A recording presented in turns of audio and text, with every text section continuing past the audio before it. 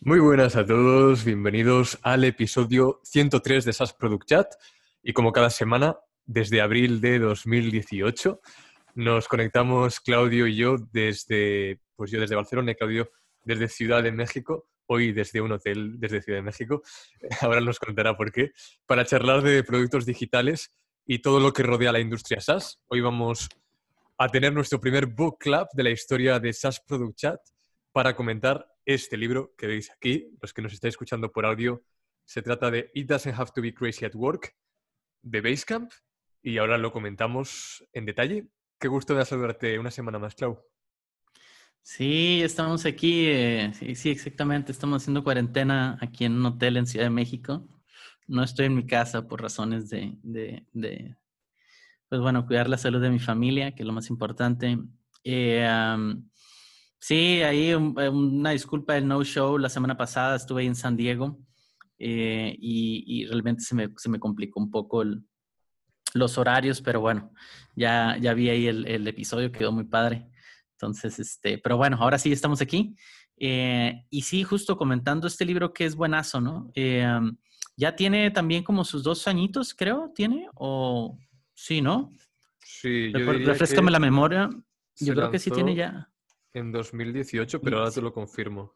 Y, bueno, y a ver, Ryan, Ryan y toda la gente de em, David, toda la gente de, 37 Signals son muy buenos. Son, creo que de las empresas pioneras en tener una voz online, ¿no? O sea, en, en realmente hacer este branding alrededor de, de sus valores, de lo que vivían, de sus experiencias.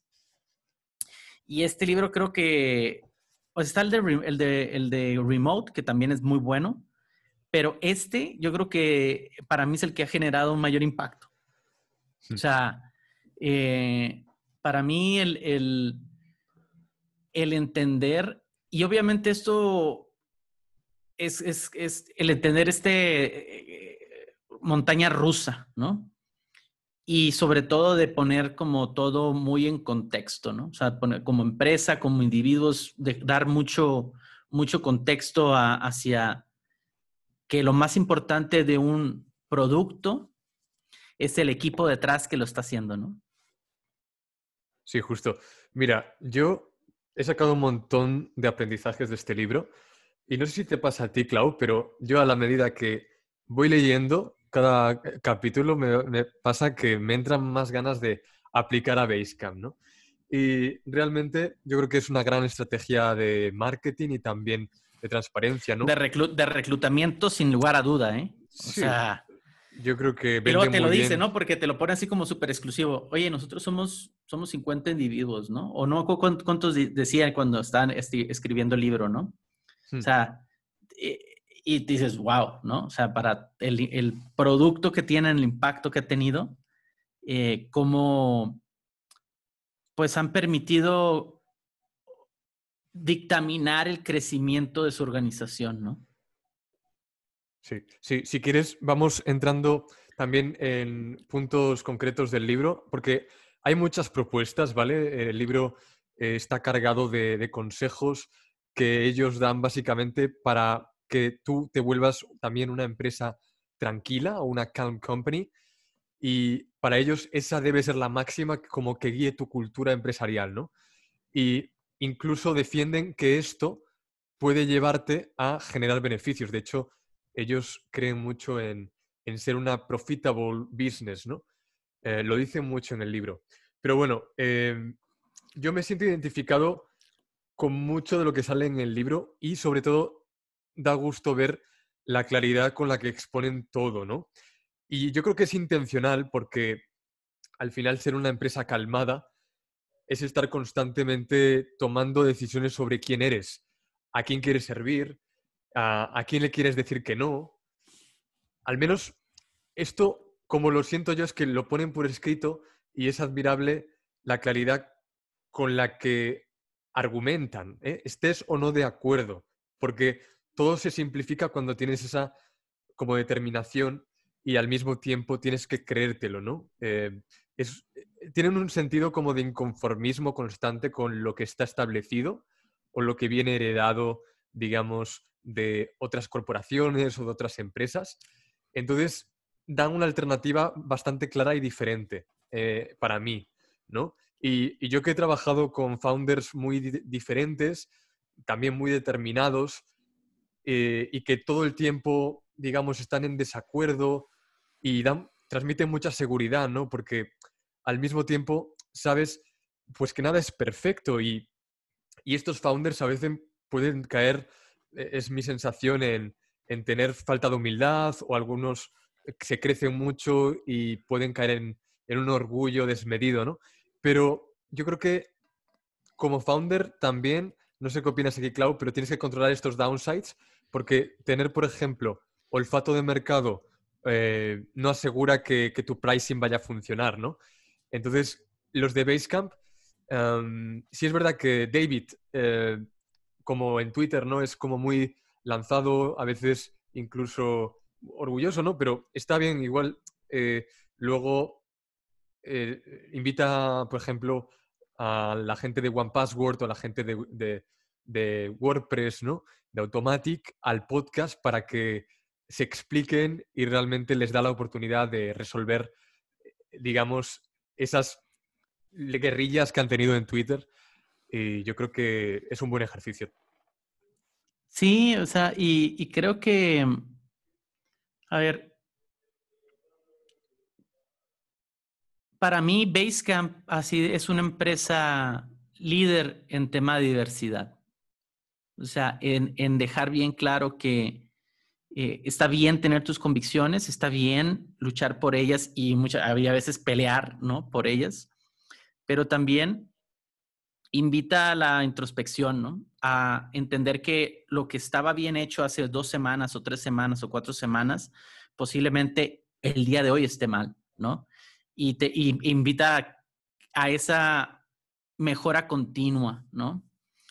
Creo que para mí lo, lo, esencial es como la manera en que organizan su trabajo también, ¿no? Creo que lo, deja muy, muy, muy bien descrito ahí, ¿no?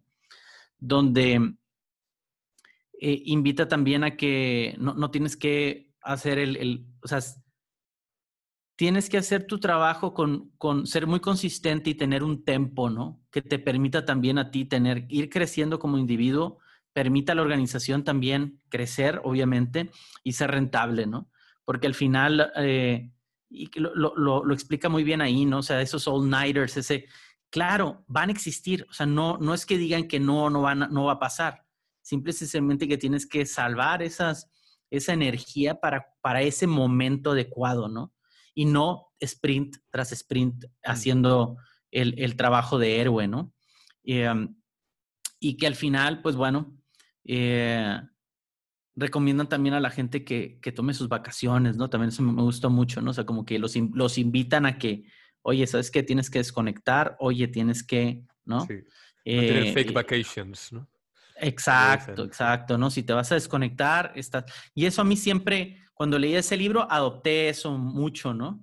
De, oye, si te vas a ir de vacaciones, es mi, mi responsabilidad como, como encargado del área o como tu compañero.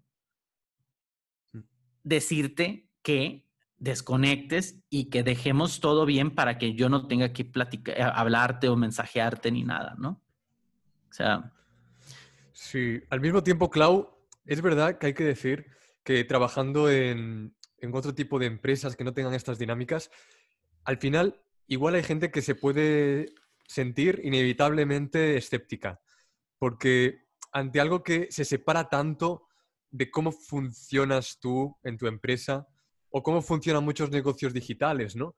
Porque, por ejemplo, respecto al crecimiento, ellos, a ellos les parece una locura el crecimiento a cualquier coste, ¿no? Hablan mucho de que ellos han sido rentables sin necesidad de eso. Y repiten que su dinero no viene de fondos, sino de los clientes. Y, ellos, a ellos les ha funcionado. Em, luego, la, jornada de 40 horas a la semana y 32 horas en verano dicen que debería ser lo normal. Ellos lo practican y así, así lo hacen, ¿no? Luego, todo puede esperar hasta las 9 a.m. del día siguiente, ¿no? Hablan de algunas excepciones, de que siempre hay alguna emergencia, pero eso no debe ser lo normal o lo estándar, debería ser lo anormal, ¿no? Lo que se sale de la norma. Y bueno, dice que por supuesto que los domingos no se contesta, que se puede esperar hasta el lunes perfectamente. Y por supuesto, no niegan que haya momentos de estrés. Es como la vida misma, ¿no? Eh, ellos son realistas en ese sentido. Pero dicen que la balanza son calmados. Y esto tiene que darse por elección y por práctica. Que si no es intencionado, no lo vas a encontrar en ningún momento. Porque tú lo ves, ¿no, Clau, en la industria? Eh, cada vez hay más requerimientos, cada vez hay eh, más supuestos unlimited, ¿no? Eh, holidays, pero en realidad lo que hacen con eso realmente es a veces tenerte más atado a la compañía ah, a cambio de que tú creas en la misión, ¿no?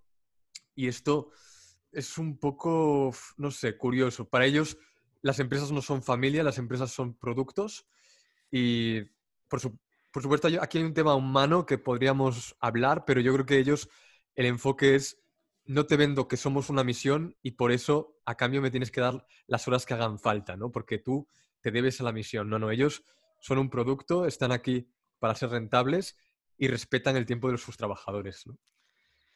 y, eso creo que sobre todo en Latinoamérica eh, va un poco en contracorriente, ¿no? a mí me, me, sucedió mucho cuando estaba, porque yo leí el libro cuando estaba en Airsoft, eh, y ahí sí tienen la, la percepción, ¿no? De, o bueno, o, y no, no, no, en sí, es que es, aquí al final, esto es siempre cada, es, es al individuo, ¿no? Hay gente que sí tiene esa necesidad de familia, ¿no? Que posiblemente no lo tenga en su vida privada, y entonces, en su vida personal, perdón, y entonces cuando se trata de su vida profesional, pues ahí es donde encuentran ese escape, ¿no? O encuentran ese, cómo llenar ese, e, e, e, ese hueco, ¿no? Y entonces sí dice, no, pues mis compañeros y, la empresa, pues aquí está mi familia, ¿no? Y lo veo bien, ¿no? No estoy en, no, no, pero para mí donde sí fue un balde de agua fría es de, sí, cierto, o sea, porque por tu familia vas a hacer todo, por mi familia. Yo estoy aquí haciendo cuarentena cuando tengo a mi hija aquí a cuatro cuadras, pero decidí estar, quedarme aquí, ¿no? Estar haciendo mi cuarentena. El siguiente lunes me hago la prueba del COVID y he decidido eso. ¿Por qué? Porque por mi familia voy a hacer lo que sea y voy a sacrificar todo. Entonces es ahí donde, donde no, es, eh, no es muy sano esa referencia cuando se en torno a tu trabajo, ¿no? Y donde sí tienes que separar muy bien eso, ¿no? Sí es muy importante eh, poder, poderlo hacer, ¿no? Y creo que eso es el punto que, que da Basecamp, ¿no? Porque no es tanto de, de, que, de que le llames familia a la gente que está en tu trabajo, lo puedes hacer, claro, o sea, ¿por qué? Es gente con la que cual puedes desarrollar una relación más allá de la profesional, eh, donde pues, muchas veces vas a compartir hasta creencias, ¿no? Lo cual es, e, es esencial para tener algo que es clave para poder entregar tus productos, eh, sobre todo eh, cualquier tipo de producto, que es la confianza en tu equipo, la confianza que ellos depositan en ti y tú depositas en cada uno de los individuos, ¿no? Sí. A ver, otro punto que tocan que me parece interesante es el del modelo abierto eh, de oficinas que actualmente tenemos en, en muchas empresas, ¿no? Lugares al final que no dejan de ser llenos de ruido. Tú lo sabes, Clau, seguramente, ¿no? Que has estado en uno. Eh, yo también he estado en muchos. A veces era una locura tener esas interrupciones constantes, ¿no? Eh, y al final, puedes tener una oficina, porque no todo el mundo quiere o puede estar desde su casa, pero tienes que cambiar la mentalidad. Y a mí aquí coincido con ellos, porque la oficina de Basecamp en Chicago, que por cierto, creo que ya no existe, pero al menos antes, tenía un aspecto de una librería, ¿no? Y funcionaba como si así lo fuera. Era silenciosa y calmada y pocas cosas al final trascienden más que, el, que, el, comportamiento que tienes en una librería, ¿no? Vas a leer, vas a pensar, vas a estudiar, a enfocarte. Y ellos pues no querían distracciones, entonces simularon pues el ambiente que tienes en tu casa dentro de la oficina. Entonces diseñaron estas habitaciones pequeñas para hacer llamadas privadas, para colaborar. Y luego hicieron esta elección, ¿no? Eh, y yo creo que, bueno, pues hay que ponerlo en práctica. A veces tienes la buena intención de crear estos lugares, pero en la práctica se vuelve difícil porque realmente la oficina no se ha vuelto un lugar calmado, sino todo lo contrario, ¿no? Sí, no, y, bueno, y ahorita, y, eso, y eso me gustó mucho, porque cuando hicieron Remote el libro, sí abogaban mucho por todo el tema, oye, ¿sabes qué? Trabajas donde quieras y todo esto. Hacen Doesn't Have to Be Crazy at Work, y sí dicen ahí, ¿no? Nosotros después de mucho tiempo decidimos, ¿sabes qué? No, queremos a toda la gente en una oficina, ¿no? Y invitaron a, a todos, a todos sus, sus miembros, ¿no? Y dijeron, ¿saben qué? Los necesitamos en Chicago, ¿no? Eh, y creo que esto, y bueno, y ahora por circunstancias de la vida, pues bueno, van otra vez de regreso a remote, pero al final creo que eso da igual. Creo que lo más importante es que tú puedas establecer la manera en que quieres trabajar, ¿sí? Tú como founder, cómo quieres que trabajen tus, tus, tus compañeros, ¿no? o tu organización y poner los procesos y como las rules of engagement, ¿no? O la, no, tanto reglas, sino como, como esos, eh, esos comportamientos que tú quieres em, propiciar en los individuos, ¿no? Y, ser, y ser un, un, un, guardián de ellos, ¿no? Eh, pero bueno, al final lo más importante y sobre todo para mí es cómo haces ese diálogo, ¿no? Cómo das el feedback también es súper importante, ¿no? Eh, no, no, no, me recuerdo bien ahorita cómo, cómo abordan en el libro el tema del feedback, eh, pero, pero sí, este, he tenido ahí como, bueno, he visto varios posts de, la gente de 37 Signals para, o bueno, de Basecamp, perdón, eh, en tema de cómo performance reviews de, de, los individuos, ¿no? y, y bueno, y al final es cómo comunicas cómo estableces las reglas de esa comunicación y qué es lo que esperas, ¿no? Obviamente, si te mando algo el sábado, el domingo, yo ya sé que no te tengo que responder, ¿no? Hmm. Vamos a esperar hasta el siguiente día a las nueve de la mañana. Exacto, sí, de hecho, yo recuerdo el, capítulo ahora de, del feedback, creo que se, llama Don't be a jerk o algo así. Exacto, exacto. Don't be a knee jerk, ¿no? Sí, eh, exacto. Y justo hablan eh, ellos tienen muy claro que primero todo tiene que ir por escrito. Entonces, antes de presentar o de, prepararse algo eh, para que la gente reaccione, eso no les va, ¿no? O sea, antes de que, de que tú te prepares algo, tienes que presentarlo. Las ideas se comparten para que sean consideradas, ¿no? Y no quieren, no quieren que tú aparezcas en la reunión sin tener nada antes considerado, sino que primero quieren feedback considerado y que se tomen el tiempo necesario para, preparar ese feedback, ¿no? Porque al final, cuando presentas en persona, mucha gente no tiene ni idea y evidentemente con tanta información y tanta avalancha no eres capaz de desarrollar un, juicio crítico sobre lo que estás viendo, ¿no? Entonces, no quieren esas reacciones impulsivas, buscan más que pienses sobre lo que se ha presentado, ¿no? Es eh, algo más natural que, que no tan angustioso. ¿no? No, y sobre todo que van, que van este, brincando salto de mata, ¿no? O sea, es, una reunión, una reunión y, no tienes contexto, no tienes documentos, no tienes nada que, te permita justamente entrar en ello, ¿no? O sea, entrar en esa discusión. Entonces, sí, este... Sí, luego ya, a ver, ideas finales, porque ya nos estamos alargando, pero básicamente el tema también de ser productivos versus ser efectivos, ¿no? Ellos consideran que a veces nosotros nos enfocamos mucho en la productividad, ¿no? En estar ocupados, en tener muchos to-dos, pero realmente lo que les funciona a ellos es más bien en ver en detalle en qué podemos mejorar hoy o qué tenemos que descartar. En lugar de llenar de to-dos nuestra, nuestra, nuestra sana, tenemos que descartar, tenemos que ver una tarea que vamos a terminar, ¿no? Y ellos son muy amigos de que si en tres horas o en cuatro horas has terminado tu trabajo, no te pases las cinco horas siguientes aparentando que estás ocupado para ser productivo. Que a veces pasa, ¿no? Que estás calentando la silla en tu trabajo, pero en realidad no tienes nada más que hacer. Simplemente para de trabajar, vete a tu casa con tu familia y luego el día siguiente busca la manera de, cómo vas a empujar ese producto hacia adelante y cómo vas a ser efectivo. Eh, y ya está. Y no dejes de pasar tiempo con tus seres queridos intentando simular que estás trabajando. Sí, exacto. Es que no puedes hacer dos cosas a la vez, ¿no? O sea, excepto las mujeres, que ellas sí pueden hacer multitasking, nosotros hombres estamos bien. Y, bueno, y eso es porque las, por eso es que las mujeres siempre han sido ama, ah, ¿cómo se llama? Han controlado la casa y aparte trabajan, ¿no? Son los únicos capaces, son los únicos seres humanos capaces de hacer eso, ¿no?